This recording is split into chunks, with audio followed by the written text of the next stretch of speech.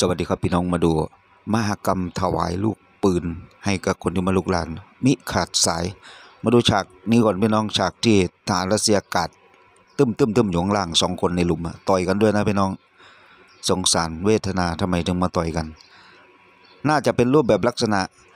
มึงอย่ายิงมึงอย่ายิง เดี๋ยวเขาจะเห็นพวกเราแบบนี้พี่น้อง เนี่ยกาดมั่วแล้วก็มีการต่อยกันนะพี่น้องสังเกตดีๆโบะนั่นต่อยไปแล้วนะ มันเกิดอะไรขึ้น รูปแบบลักษณะมึงอย่ายิงออกไป เขาเห็นเรา มึงอย่ายิงออกไปเขาเห็นเราบอกไม่ฟังใช่ไหมก็ตึมตึมตึมตึมอันนี้เป็นฉากฉากหนึ่งของทารยูเคนเขาเอาลูกระเบิดใส่ดนเอาไปถวายให้ถึงที่เลยพี่น้อง โอ้จะสิ้นลมอยู่แล้วยังต่อยกันอีกเนาะอยากจะให้ปูตินมาเจอสภาพนี้ด้วยว่าส่งคนมาลุกลานมาป้นเอาแผ่นดินของคนอื่น เจอเจ้าของบ้านสวนกลับตอกกลับนี้เป็นยังไง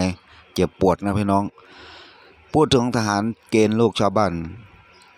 เขาก็มาทำตามหน้าที่แล้วพี่น้องทหารรัสเซียจะเรียกว่ามามาตามหน้าที่ไม่ได้นะพี่น้องถูกบังคับมาถูกบังคับมานี่เลยได้เผด็จการเป็นผู้ปกครองบ้านเมืองมันก็เป็นแบบนี้แหละไม่ฟังความคิดเห็นของคนอื่นนี่ขนาดเอาวอดก้าไปลินดื่มกันคนละแก้วคนละแก้วเขาพูดว่าใคร ใครถล่มสนามบินเคิร์ดใครเริ่มก่อนพูดมาได้ยังไงพี่น้อง ใครถล่มใครเมียใครเริ่มก่อนใครตัดน้ำไม่ส่งน้ำไปที่โดเนทใครเริ่มก่อน บ้าหรือเปล่าพี่ พี่บ้าหรือเปล่า พี่ถามหาคนเริ่มก่อนใช่ไหมวันที่ยี่บสี่พี่เข้าไปทำไมที่ยูเครนนะพี่ทำไมไม่ถามใจ วันที่ยี่บสี่พี่เข้าไปทำไมที่ยูเครนพี่จะไปยึดยึดของเขาพี่ถืออำนาจ ถืออำนาจถือเสียดอะไรไปยึดของคนอื่น ประเทศรัสเซียยิ่งใหญ่ไพศาลพี่ไปยึดเอาของเขาทำไมของเขาเขาก็ มันเป็นของใครก็ของคนนั้นนะพี่น้องต้องให้เจ้าของเดิมเขาเป็นคนดูแลรักษาใช่ไหมแต่ว่าตัวเองถืออำนาจบาดใหญ่อะไรไปปล้นสะดมเพราะของคนอื่นไม่ใช่นะประเทศยูเครนเป็นประเทศที่ถูกต้องตามกฎหมายหลายๆประเทศทั่วโลกยกมือลงมติเป็นเอกฉันว่านี่คือประเทศที่ถูกต้องตามกฎหมาย แล้วรัสเซียใช้อำนาจอะไรไปลุกลานคนอื่นพี่ถามหาคนที่เริ่มต้นก่อนใช่ไหม วันที่ยี่สิบสี่พี่ลองบอกชาวโลกไปดิขนรถถังขนรถหุ้มเกาะเข้าไปที่ประเทศยูเครนพี่พี่ขนเข้าไปทำไม ขนเข้าไปทำไม นั่นแหละคือคนที่เริ่มก่อน พี่อย่าแกล้งโง่เลย ถ้าพี่ไม่ขนเข้าไปแล้วมันจะมีเหตุการณ์แบบนี้ไหมล่ะ มันเป็นของอดีตสหภาพโซเวียต พี่ก็หยุดละเมอถึงอดีตสหภาพโซเวียตไปได้แล้ว ตอนนี้มันยุคไหนสมัยไหน ทั่วโลกมีอินเทอร์เน็ตเขาสามารถรับรู้ติดตามข่าวสารได้ตลอดว่าการปกครองแบบไหน มันเจริญรุ่งเรืองปกครองแบบไหน มันเป็นอำนาจบาตรใหญ่ปกครองแบบไหนเป็นเผด็จการพี่ดูไม่ออกไง ก็สาเหตุมันก็คงจะมาจากหนึ่งการปกครองด้วยรูปแบบเป็นเผด็จการ แล้วเวลาลูกน้องไปรายงาน มันก็ต้องรายงานรูปแบบลักษณะใช่ครับพี่ดีครับท่านถูกต้องแล้วครับนายเขาก็ต้องรายงานแบบนี้ใช่ไหมใครจะไปกล้าบอกว่า เมื่อวานนี้รถถังของรัสเซียถูกถล่มไป 20 คัน ใครใครจะกล้าพูดใช่ไหมพี่น้อง ขณะนี้นะยูเครนเขาได้โดนมาจากไหนก็ไม่รู้บอมรถถังโคตรแม่นเลยครับพี่ เขาจะกล้ารายงานไหมล่ะฐานรัสเซียตายเจ็ดหมื่นแปดหมื่นเก้าหมื่นตอนนี้อยู่ที่หลักเก้าหมื่นนะพี่น้องทารรัสเซียจากการคำนวณของหลายๆประเทศที่เขาทำข่าวเกี่ยวกับสงครามนะ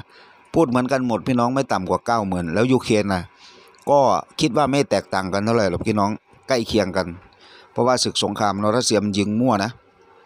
ส่วนยูเครนเขาตั้งเป้าจำเพาะเจาะจงซัดใส่ทหารรัสเซียซัดใส่ทหารรัสเซียโดยเฉพาะนะพี่น้องเลือกเป้ายูเครนเลือกเป้านะพี่น้องแต่ว่ารัสเซียเขาไม่เลือกเป้านะยูเครนจำเพาะเจาะจงถล่มเข้าไปเฉพาะฐานทัพของรัสเซีย ส่วนรัสเซียไม่กำหนดทิศทาง ไม่เลือกเป้าไม่คำจุด หันไปกระบอกปืนไปทางไหนมันก็กราดไปทางนั้นแหละพี่น้อง หันไปทางไหนมันก็กราดไปทางนั้นเราสังเกตดูบ้านเมืองของยูเครนเสียหายขนาดไหนเสียหายเพราะว่ามันกาดมั่วพี่น้องเนี่ยเหมือนพ่อหนุ่มน้อยสองคนเนี่ยกำลังกาดมั่วเนี่ยแล้วก็ต่อยกันด้วยเนี่ยเวทนานะพี่น้อง จะล้มหายตายจากกันก็ยังมาต่อยกันอีก เขาบอกว่าอย่าอย่าอย่าไปกาดยิงเขาเห็นมึงเขาเขาคงพูดกันลักษณะแบบนี้แหละพี่น้องอันนั้นก็กาดไม่มีใครมองขึ้นมาข้างบนเลยนะพี่น้องว่าตัวเองกำลังถูกโดนบอมแบบจะจะ แต่มันก็กาดมั่วไปหมดอะพี่น้อง เดี๋ยวดูดีๆนะพี่น้องที่วงกลมสีแดงให้สังเกตดีๆ กาดเขายิงแบบมันมือเลยพี่น้องอีกคนหนึ่งก็ต่อยนะ โอ้ยจะตายอยู่แล้วก็ยังมาเป็นแบบนี้อีก จะรอดไหมมันไม่รอดหรอกพี่น้อง มันไม่รอดหรอกเพราะว่ารูปแบบการนำคลิปวิดีโอเผยแพร่ผ่านโลกอินเทอร์เน็ตเนี่ยถ้าหากเป็นเนื้อหารุนแรงเขาจะไม่เปิดเผยนะพี่น้อง ถ้าหากเป็นรูปร่างลักษณะแบบ ยังไม่ถูกเนี่ยเขาให้ดูแบบเต็มที่นะ